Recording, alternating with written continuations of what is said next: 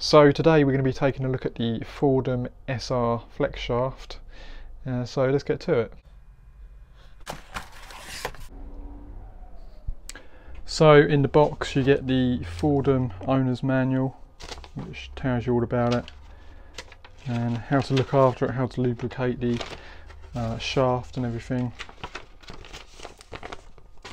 Also the Foredom handpiece and chuck key. Here's the chuck key.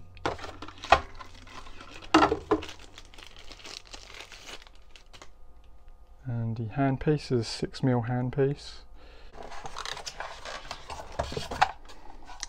So here's the foot pedal and the flex shaft motor.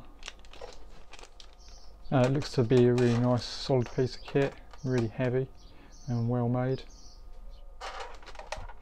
Right, okay, so let's take a look at this flex shaft rotary tool from Foredom. This is the SR series, so we've got a switch on here. In the centre, it's powered off. If you press to the left, it goes forwards. If you press to the right, it goes in reverse. this thing is really heavy. Um, it's really well made. It's all die cast. I'd say aluminium. Yeah, but it's a really heavy piece of kit. I should say it's probably at least two kilos in weight. And there's not a lot else on here. There's just the ports for the if you want to replace the brushes at any time when you need to do that. You've got the metal hanger on here. So you're able to hang it and then there's just the power cord coming out the back. And then the fixing for the flex shaft there. The This bit here is made out of plastic and then we've got the flex shaft which is uh, PVC on top of uh, a metal um, liner with the shaft going through that. And then on the other side we have the handpiece which is easily released to be able to install different handpieces which are readily available and very inexpensive to buy like these handpieces here. So this one here is a lever action 2.35 millimeter handpiece. So you can just operate this lever here to lock and unlock the tool that you put in there.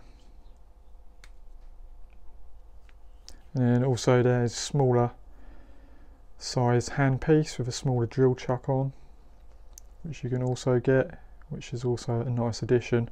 I bought these myself off uh, banggood.com. I'll put a link in the description to them. Uh, the shaft is actually got a little key on it, if you see that, so you do have to kind of just jiggle it around a little bit and then push it in and you're ready to go. the chuck on this is a 0 to 6 millimeter chuck so that means you can put basically any rotary tool bit in here that you want, um, including uh, larger uh, die grinder bits like this. So this is a 6mm die grinder bit and this will easily power it.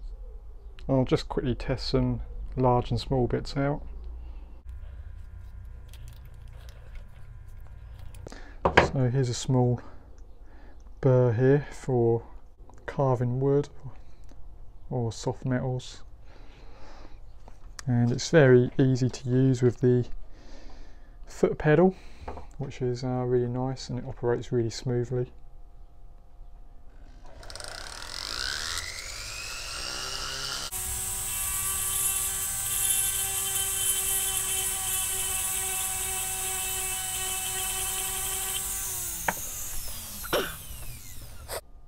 and this thing's got a lot more power than your average Dremel it's a really good quality tool this is. So you can also use larger tools which you would uh, use in an air die grinder and it's easily got enough power. Here's that large carbide burr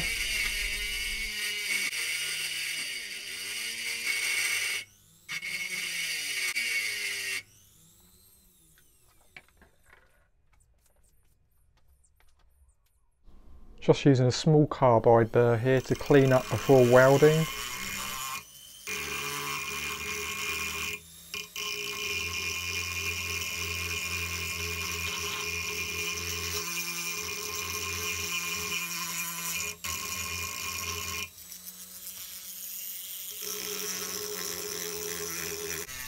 Obviously they also work really well on wood.